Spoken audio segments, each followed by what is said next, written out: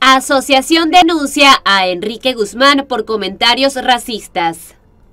El patriarca de la dinastía Guzmán se encuentra en el ojo del huracán. Una vez más, el rockero protagoniza tremenda polémica, pero esta vez se pasó. Y es que ha sido cuestionado por supuestamente hacer varios comentarios discriminatorios ante las cámaras. Según un artículo publicado por la revista TV Notas, la semana pasada, tras su participación dentro del programa Miembros al Aire, Enrique Guzmán mencionó que las personas de color son buenas pero como esclavos. ¿Qué? Para entrar más en detalles, el cantante de rock and roll se refirió a su amistad con Kalimba, pero también recalcó que no solía juntarse con la comunidad afrodescendiente y en el momento en que el intérprete de Tocando Fondo dijo que él y Guzmán siempre habían llevado una buena relación, el abuelo de Frida Sofía aseguró que eso no era cierto. Antes no. A mí, cada negro que pasaba cerca de mí, haciendo referencia a que se alejaba de la persona y después añadió.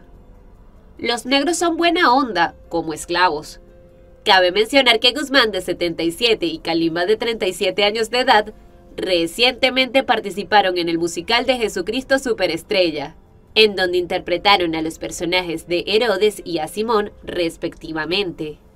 Pero esto no es todo, ya que hace poco el padre de Alejandra Guzmán causó polémica luego de que lanzara un comentario homofóbico a modo de supuesta broma contra el cantante Jair, quien también fue su compañero de trabajo en la obra de teatro ya mencionada. En esa oportunidad comentó, Jair es un jotito muy chistoso. Es un, jotito muy chistoso, jotito muy chistoso.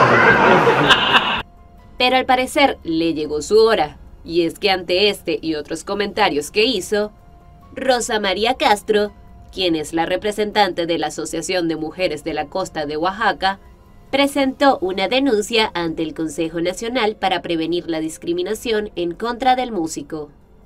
Y por si fuera poco, Mónica Machise, presidenta de la CONAPRED, mencionó en un evento público que recibió tres correos sobre esta situación y que ya se le envió un oficio a Guzmán para que evite estas expresiones discriminatorias y racistas.